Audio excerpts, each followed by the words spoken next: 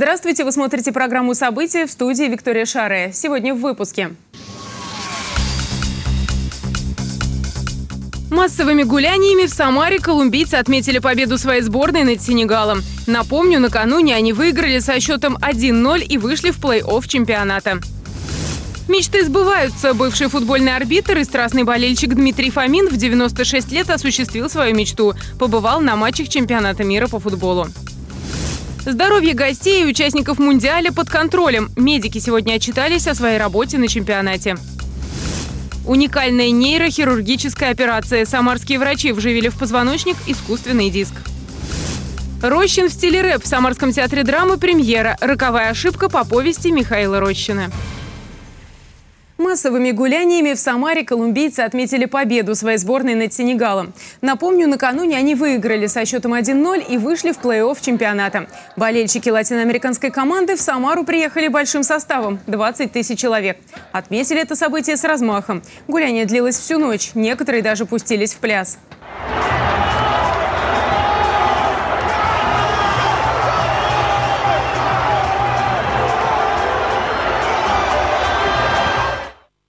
Сенегальцы после проигрыша сразу покинули Самару. Поддержка со стороны сограждан им не помогла. Хотя в столице Сенегала Дакаре был установлен большой экран для совместного просмотра матча, а некоторые болельщики следили за игрой даже с деревьев.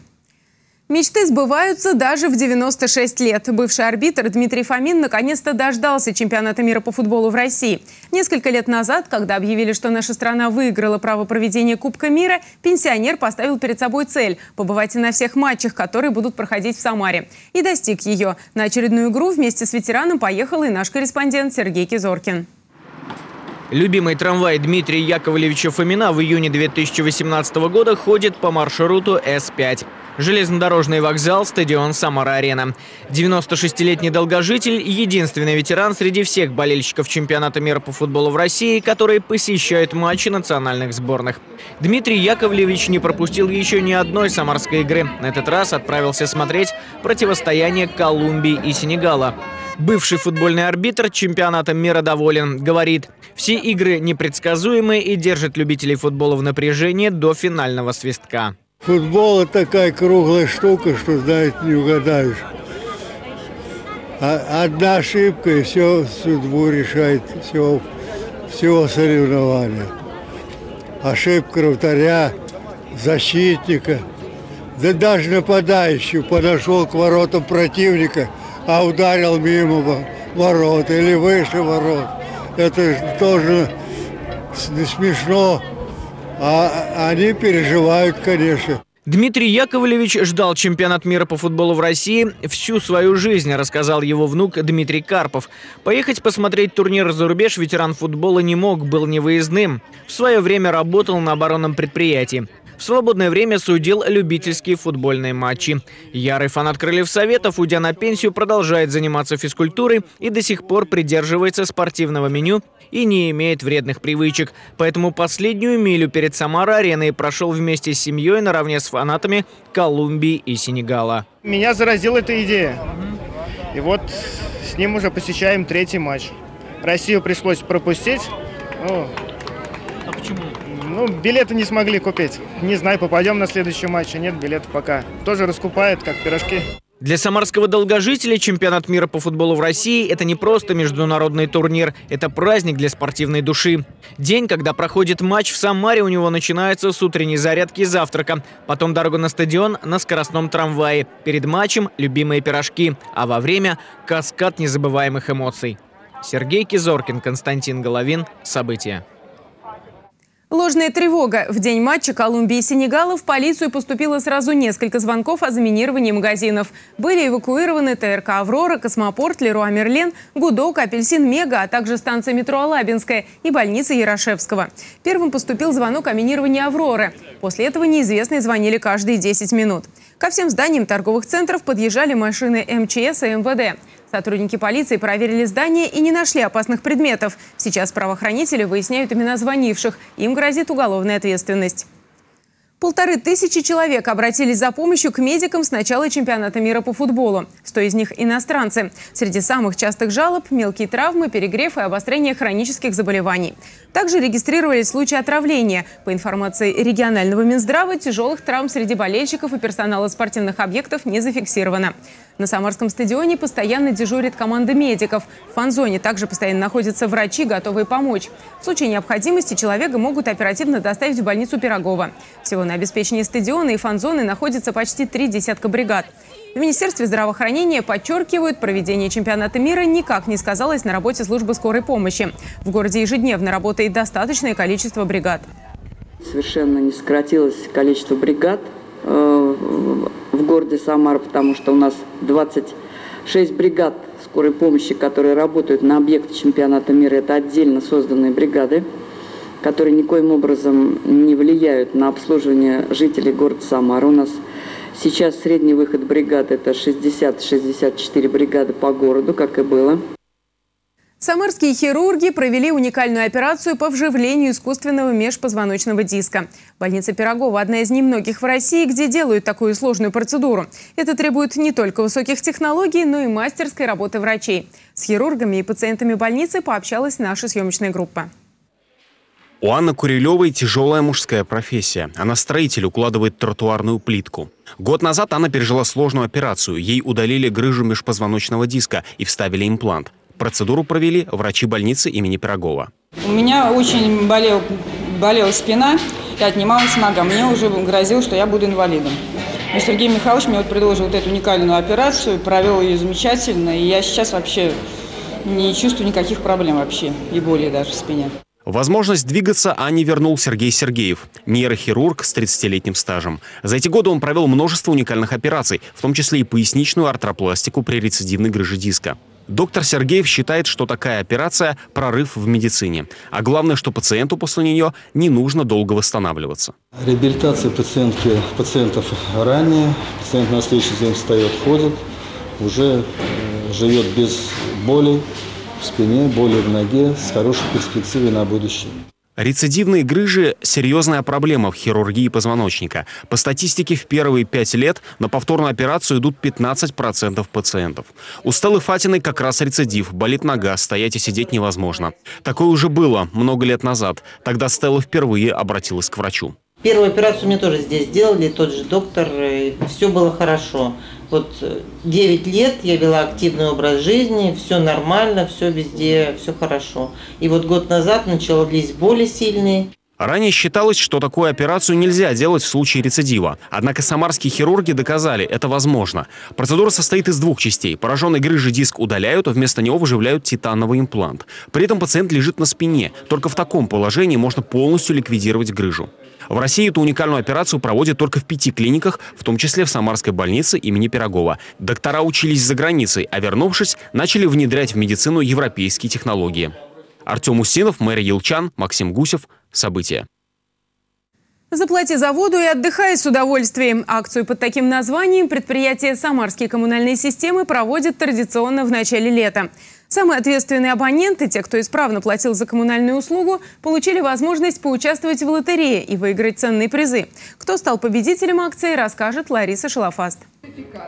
За коммунальные услуги Майя Ильина всегда платит исправно. Больших долгов никогда не накапливала. Об акции, которые проводит предприятие «Самарские коммунальные системы», узнала весной. Решила принять участие и не пожалела. Теперь отправиться в бесплатный круиз по Волге. Интересно просто, конечно, пенсионеру съездить в Казань. Тем более я в Казань была очень давно. Сейчас она красивая. К розыгрышу суперприза допускались потребители, которые не имели задолженности или оплатили все долги за воду, а также внесли аванс в размере равном шестикратному начислению за услуги водоснабжения.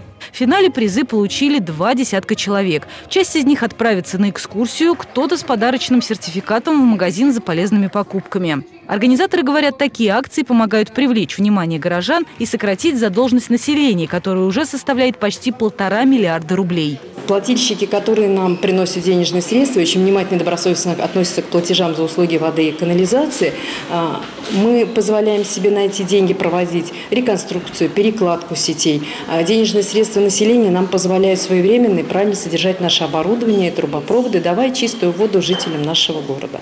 Следующая акция с призами в Новый год без старых долгов ждет самарцев в декабре. Лариса Шлафаст, Сергей Баскин. События. Не бояться мечтать. Жители Октябрьского района активно участвуют в федеральных и областных программах по благоустройству двора. Весной добились новой спортплощадки, а сейчас новые дороги и парковки. Чтобы все пожелания точно были учтены, сами собрали части денег. С инициативной группой встретился Даниил Лучко. Двор на улице Осипенко. Еще весной здесь была разбитая дорога. В ямах скапливались лужи, а машины парковались прямо на газоне. Жители приняли участие в программе «Комфортная городская среда». Чтобы воплотить все свои идеи, дополнительно собрали деньги на ремонт дороги. Жители хотели в первую очередь, конечно, комплексное благоустройство двора. Все мы понимаем, что бюджетные средства ограничены, но такая наиболее явная проблема, как дорога, которая, конечно, была разбита, Наконец-то мы дождались, что действительно у нас хорошая дорога. Работы выполнены на 98%, то есть укладка асфальтобетонного покрытия завершена, бортовые камни установлены. Из остатков только буквально обратная засыпка бортового камня, ну и очистка территории от мусора. Представители ОНФ, общественники, подрядчик и глава администрации района обходят дворы, в которых ведутся работы. В 18-м доме на улице Осипенко проживает свыше 500 человек. Жители попали в проект «Комфортная городская среда». Их ждут 30 парковочных мест и новая дорога. В следующем году Самарца собирается участвовать в областной программе «Содействие». Если есть инициатива жителей, если есть их активная позиция, вот я думаю, мы только на их стороне. Потому что лично я, как глава района, заинтересована, чтобы наш район был самый красивый, самый благоустроенный, и чтобы наши люди говорили «гордимся и любим Октябрьский район». Отремонтировать все должны до конца недели. В этом году в Октябрьском районе Самары всего преобразится 13 дворов. Работы ведутся в ежедневном режиме и находятся под контролем районных властей. Даниил Лучко, Дмитрий Мешканцов. События. Благоустройство дворовых территорий продолжается по всей Самаре. В железнодорожном районе города во дворе на улице Урицкого работы проводятся уже не в первый раз. Все благодаря активности жителей. Олег Зверев пообщался с народным контролем.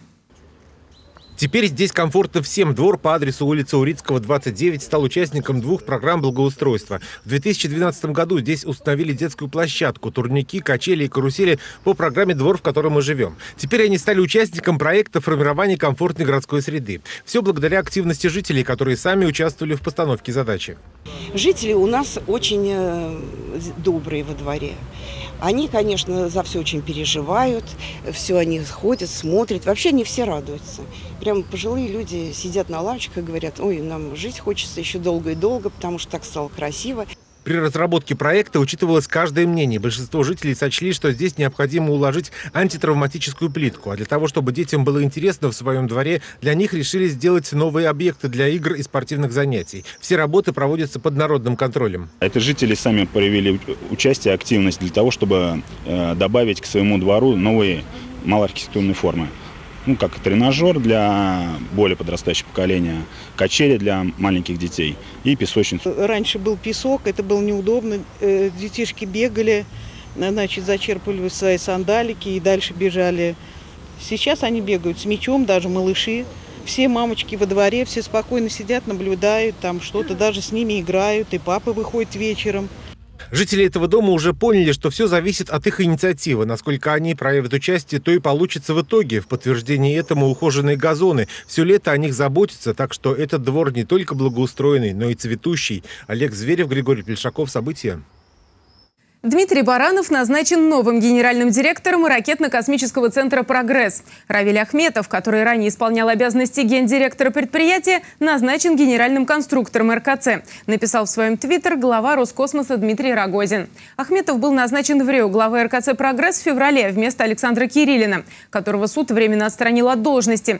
Кириллин подозревается в злоупотреблении полномочиями. По версии следствия, подозреваемый, вопреки интересам РКЦ и в целях получения выгод и преимуществ для компании «Союз» «Общемаш Импорт» заключил с этой компанией договор на поставку оборудования по завышенной стоимости. А теперь коротко о других темах дня.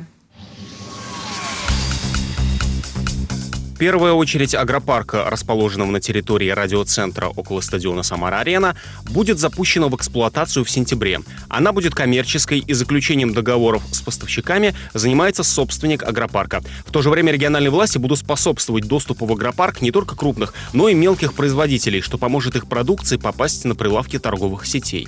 Сейчас магазины испытывают потребность в местных овощах и фруктах, и агропарк поможет удовлетворить этот спрос. Там будет организована мойка, фасовка, хранение и транспорт транспортировка сельскохозяйственной продукции. В агропарке будут трудиться 70 рабочих. Красноярском районе губернии суд вынес приговор местному жителю за незаконную вырубку деревьев. Его признали виновным в уничтожении лесных насаждений в особо крупном размере. Следствие установило, что в начале октября 2017 года мужчина спилил пять сосен, расположенных на территории Красноярского лесничества. При этом разрешительных документов у него не было. Эти сосны относились к категории защитных лесов. Мужчина их вырубил незаконно. Ущерб составил более миллиона рублей. Мужчине назначили наказание в виде одного года лишения свободы условно и штрафа в размере 300 тысяч рублей. Мужчина спрятался от судебных приставов в шкафу. Житель Хворостянского района задолжал дочери алименты более 370 тысяч рублей. На него составили протокол по статье «Неуплата средств на содержание детей». Алименщику пришлось провести 10 суток под административным арестом. Однако, отбыв наказание, он так и не заплатил деньги. Когда судебные приставы пришли к нему в дом, его супруга сказала, мужчины дома нет, но во время обыска он был найден в шкафу. Мужчину доставили в отдел к судебному приставу-исполнителю, он тут же выплатил 2000 рублей и пообещал в дальнейшем перечислять деньги дочери. Спасатели предупреждают жителей и гостей региона о сохраняющейся низкой температуре воды в реках и озерах губернии. Переохлаждение во время купания может стать причиной трагедии. Несчастный случай на воде чаще всего происходит из-за нарушения правил поведения. Большинство людей гибнет либо из-за неумения хорошо плавать, либо из-за купания в необорудованных водоемах. Часто причиной гибели в воде также является переутомление, перегревание, алкогольное опьянение. Сегодня фестиваль болельщиков на площади Куйбышева работать не будет. Об этом сообщают организаторы чемпионата мира по футболу. А уже завтра, в субботу, гостей снова ждут на площади Куйбышева. Рощин в стиле рэп. В Самарском театре драмы премьера. Роковая ошибка по повести Михаила Рощина. Автора широко известного по пьесе «Валентина и Валентина». Однако самарским зрителям не стоит ожидать романтической истории. Повесть, написанная в 80-е, стала спектаклем про наше время. Зачем актерам понадобились уроки паркура и уличных танцев, узнал Артем Устинов.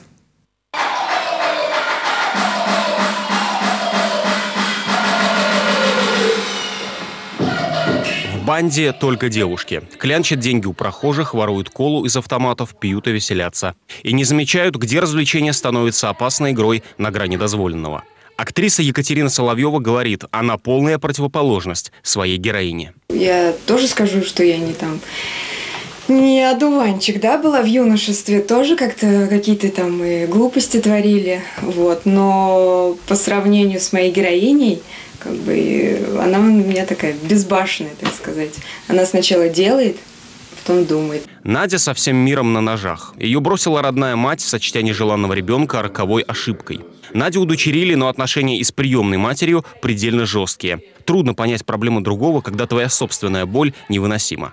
Актриса Елена Ивашечкина считает, что выход один – поколения должны пойти навстречу друг другу, хотя молодежи и кажется подчас, что это невозможно. Они максималисты, они думают, что они-то правы, а вот мы-то старье, старичье. Мы-то уже не понимаем, все по-другому. Но, к счастью, финал нашего спектакля говорит об обратном. У спектакля большая постановочная группа. Хореограф Павел Самохвалов придумал пластический рисунок на основе современных уличных танцев. Многое пришло из кино. Персонажи то и дело начинают двигаться, будто в замедленной съемке. Специально для спектакля актрисы учились читать рэп, занимались паркуром и даже нашли тренера по катанию на самокате, чтобы избавиться от страха. Ездить приходится по крутому наклону. Режиссер Миша Лебедев сочинял спектакль вместе с артистами этюдным методом. Каждый актер мог принести свою идею. Молодая часть, да, которые еще горят, которым еще интересно, э, и они очень активно, прямо мы там по несколько часов сидели. Э, какие-то этюды э, даже, ну, как бы вошли в спектакль. Зрителям следует помнить, эта история не о прошлом, это про сейчас. В театре надеются, что спектакль привлечет подростков и молодежь. Им важно увидеть историю о том, что прийти к примирению трудно, но необходимо. И о том, что любую ошибку можно исправить, какой бы роковой она ни была. Артем Устинов, Дмитрий Мешканцов. События. Футбол глазами юных художников. В детской картинной галерее открылась выставка рисунков на тему самой популярной в мире игры. Авторы – призеры областного конкурса, который был организован к чемпионату мира. Неудивительно, что многие работы отразили тему Мундиаля. Алекс Зверев одним из первых ознакомился с экспозицией. Они далеко не все футболисты, но каждый по-своему захотел внести вклад в торжество чемпионата мира. В виде рисунков на тему футбола. Яркие самобытные работы юных самарских художников выставлены в детской картинной галерее. Екатерина Долгополова раньше футболом не интересовалась, но тоже решила принять участие. Один раз может только этот чемпионат быть у нас. Я нарисовала здорово, потому что когда я хожу во двор, всегда играют мальчики во дворе. Областной конкурс проходил с 22 января. Всего поступило 700 детских работ. Причем возраст участников от 5 до 17 лет. Треть всех рисунков прошла на основной этап, а призерами стали 60 юных художников. Это самые яркие работы, в которых есть изюминка.